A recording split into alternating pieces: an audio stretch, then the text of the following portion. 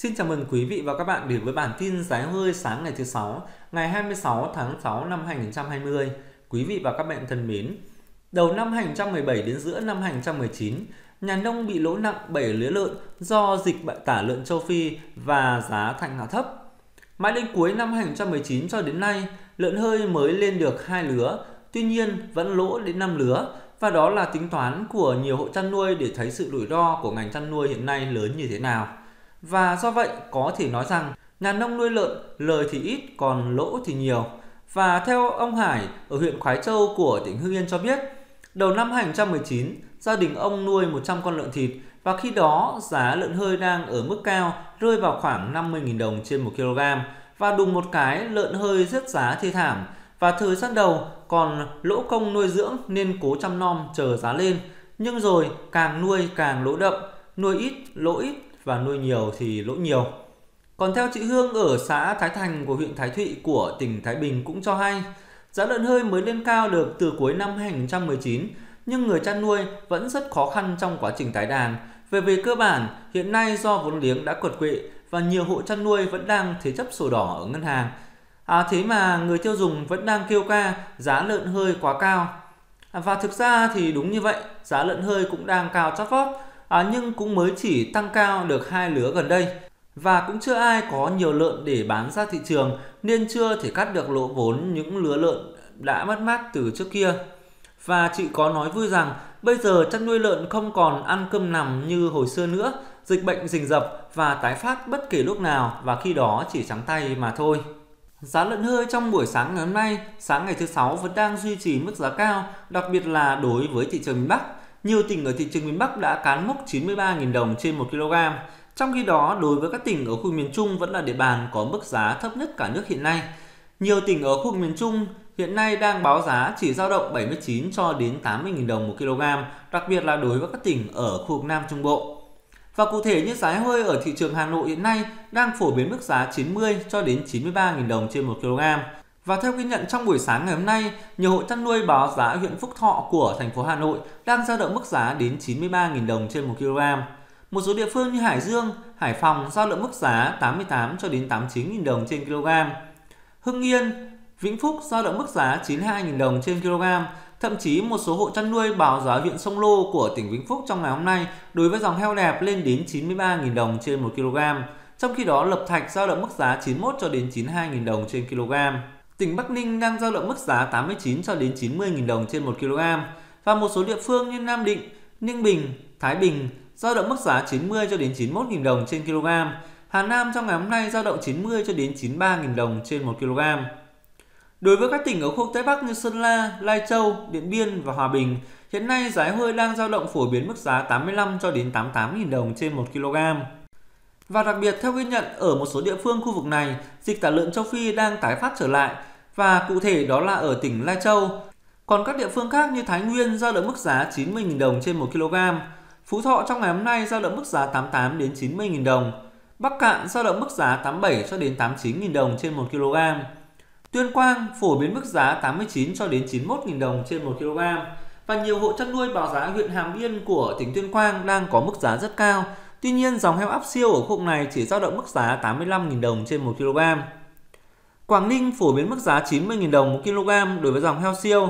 Trong khi đó, một số địa phương như Lào Cai, Lạng Sơn giao động mức giá 90 cho đến 92.000 đồng đối với dòng heo siêu. Còn dòng heo áp siêu ở khu này chỉ giao động mức giá 84 cho đến 85.000 đồng trên 1 kg. Yên Bái giao động mức giá 89 đến 90.000 đồng và theo ghi nhận một số huyện như Lục Yên, Trạm Tấu, Nghĩa Lộ của tỉnh Yên Bái trong buổi sáng ngày hôm nay, dòng heo siêu giao động mức giá 90.000 đồng trên 1 kg, còn dòng heo áp siêu chỉ dao động mức giá 85.000 đồng trên 1 kg. Hà Giang dao động mức giá 88 đến 89.000 đồng trên kg và theo ghi nhận ở huyện Trùng Khánh của tỉnh Cao Bằng Hiện nay các hộ chăn nuôi đang báo giá phổ biến mức giá 88.000 đồng trên 1 kg. Bắc Giang giao động mức giá 91 cho đến 92.000 đồng trên 1 kg và đây là một trong những địa phương ở thị trường miền Bắc mà có mức giá cao. Cụ thể trong sáng ngày hôm nay, nhiều hộ chăn nuôi báo giá huyện Tân Yên của tỉnh Bắc Giang giao động mức giá 91.000 đồng đối với dòng heo siêu, còn dòng heo áp siêu ở khu vực này có mức giá khá là thấp, giao động mức giá 83 cho đến 85.000 đồng trên 1 kg tùy thuộc vào từng địa phương. Còn đối với các tỉnh ở khu miền Trung trong sáng ngày hôm nay, giá hơi ở các địa bàn như Thanh Hóa, Nghệ An và Hà Tĩnh vẫn đang duy trì mức giá cao. Cụ thể như Thanh Hóa, nhiều hộ chăn nuôi báo giá giao động mức giá đối với dòng heo siêu là 88 cho đến 89.000 đồng trên 1 kg. Một số hộ chăn nuôi báo giá huyện Quảng Sương của tỉnh Thanh Hóa giao động mức giá 88.000 đồng. Triệu Sơn giao động mức giá 89.000 đồng trên kg. Nga Sơn giao động mức giá 88.000 đồng đối với dòng heo siêu. Còn đối với các dòng heo áp siêu và dòng heo mỡ ở khung này khá là thấp. Cụ thể những dòng heo áp siêu giao động mức giá 84 cho đến 85.000 đồng trên kg. Còn dòng heo mỡ có mức giá thấp hơn giao động mức giá 80 cho đến 81.000 đồng trên 1 kg. Nghệ An giao động mức giá 87 cho đến 88.000 đồng trên 1 kg. Tuy nhiên, trong ngày hôm nay, một số hộ chăn nuôi báo giá huyện Diễn Châu có mức giá cao hơn, giao động mức giá 89.000 đồng trên 1 kg đối với dòng heo siêu loại 1. Còn dòng heo áp siêu ở khung này thường thấp hơn khoảng 4 đến 5 giá. Hà Tĩnh phổ biến mức giá 85 cho đến 86.000 đồng trên 1 kg. Và nhiều hộ chăn nuôi báo giá huyện Đức Thọ và Cẩm Xuyên của tỉnh Hà Tĩnh trong sáng ngày hôm nay vẫn đang giao động mức giá 85.000 đồng trên 1 kg. Trong khi đó, một số địa phương như Quảng Bình, Quảng Trị và Thừa Thiên Huế có mức giá thấp hơn và đang có xu hướng giảm. Quảng Bình hiện nay giao động mức giá 81 cho đến 83.000 đồng trên 1 kg. Quảng Trị trong ngày hôm nay có xuống giảm một giá so với ngày hôm qua, giao động mức giá 79 cho đến 81.000 đồng trên kg. Trong khi đó, Thừa Thiên Huế cũng chỉ còn giao động 80 cho đến 82.000 đồng trên 1 kg. Và xu hướng giảm mạnh nhất ở khu vực miền Trung thuộc về tỉnh Quảng Nam, trong ngày hôm nay giảm đến 3 giá so với năm qua. Và tỉnh Quảng Nam, nhiều hộ chăn nuôi hiện nay đang báo giá dao động 81 cho đến 82.000 đồng trên 1 kg. Và theo ghi nhận trong sáng ngày hôm nay ở huyện núi Thành của tỉnh Quảng Nam, chỉ dao động mức giá 81.000 đồng trên kg.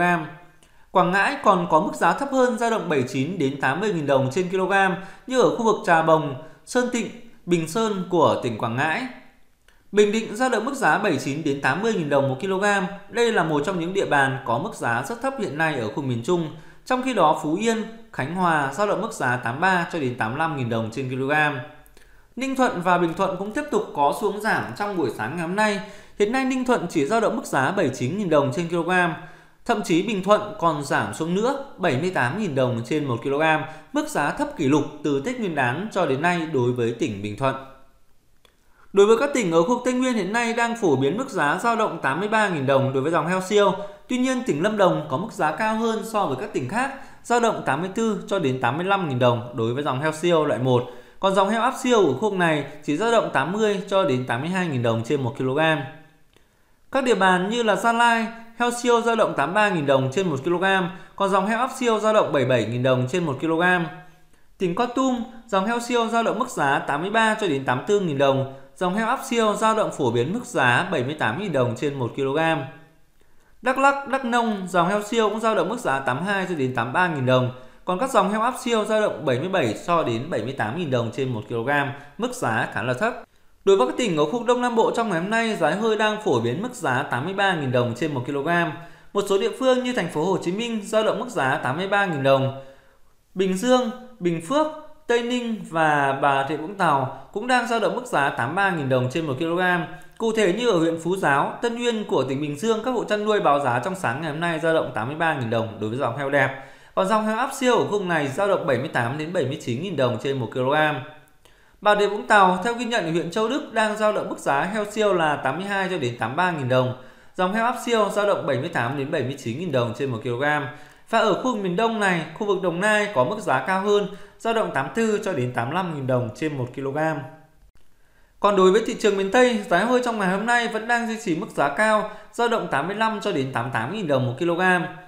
Cụ thể, hiện nay Cần Thơ đang dao động mức giá 87 đến 88.000 đồng, Bến Tre dao động mức giá 86 cho đến 87.000 đồng trên 1 kg. Hậu Giang dao động mức giá 87 cho đến 88.000 đồng trên 1 kg. Đồng Tháp giao động mức giá 86 đến 88.000 đồng.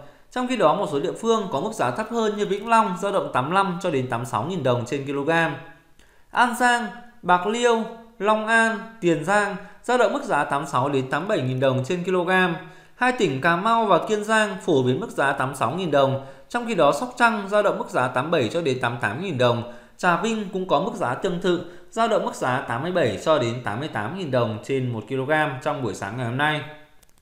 Và cụ thể ở một số huyện như huyện Kế Sách, Long Phú của tỉnh Sóc Trăng giao động mức giá 87.000 đồng trên 1 kg. Trà Vinh như huyện Duyên Hải, Cầu Ngang có mức giá cao nhất 88.000 đồng trên 1 kg. Hay ở tỉnh Cà Mau thì có huyện Thới Bình có mức giá phổ biến 86.000 đồng trên 1 kg. Ở Kiên Hải của tỉnh Kiên Giang vẫn đang giao động mức giá 85 cho đến 86.000 đồng trên 1 kg. Hay đối với tỉnh Bạc Liêu, đặc biệt là theo ghi nhận ở huyện Đông Hải đang có mức giá dao động 87.000 đồng một kg, mức giá cao hơn so với các huyện khác. Ở tỉnh Đồng Tháp, đặc biệt theo ghi nhận ở huyện Tân Hồng và Lai Vung có mức giá 87.000 đồng trên 1 kg. Hiện nay tại một số địa phương, dịch tả lợn châu Phi đang bùng phát trở lại. Và theo ghi nhận tại tỉnh Lai Châu và Cao Bằng là những địa phương mà dịch tả lợn châu Phi đang tái phát trên diện rộng, khiến giá hơi tại thị trường miền Bắc quay đầu tăng trở lại trong khi đó, với 500 con heo Thái nhập khẩu không thể giúp bình ổn giá hơi ở trong khu vực. Và trước đó, Bộ Nông nghiệp Phát triển Nông thôn cùng các địa phương đã triển khai một số biện pháp để hỗ trợ người chăn nuôi thực hiện tái đàn. Và thực tế 65% nguồn cung thịt heo trên thị trường đều từ các hộ chăn nuôi nhỏ lẻ, các trang trại đang rất gặp khó khăn về nguồn vốn để duy trì sản xuất và chưa đáp ứng được yêu cầu về chăn nuôi an toàn sinh học. Đó là vấn đề về tái nhiễm đối với dịch tả lợn châu Phi có thể xảy ra. Giá cả các ờ, loại thức ăn chăn nuôi hiện nay cũng đang tăng. Việc tiếp cận các chính sách nói chung và các chính sách đối với ngành chăn nuôi nói riêng còn rất hạn chế và ý thức chủ động trong phòng chống dịch bệnh tái đàn đàn gia súc ở trên địa phương à, của người dân cũng chưa cao. Quá trình thu hút doanh nghiệp đầu tư vào ngành chăn nuôi còn rất hạn chế, nhất là đối với các trang trại có quy mô lớn. Và chính vì vậy, để bình ổn giá heo hơi ở trong nước, hiện nay là một điều rất cần thiết, tuy nhiên cần phải có thời gian dài mới có thể thực hiện được. Và đó là thông tin về giá hơi trong sáng ngày hôm nay, sáng ngày 26 tháng 6 năm 2020. Rất cảm ơn quý vị và các bạn đã quan tâm theo dõi. Xin chào và hẹn gặp lại trong những bản tin tiếp theo của chúng tôi.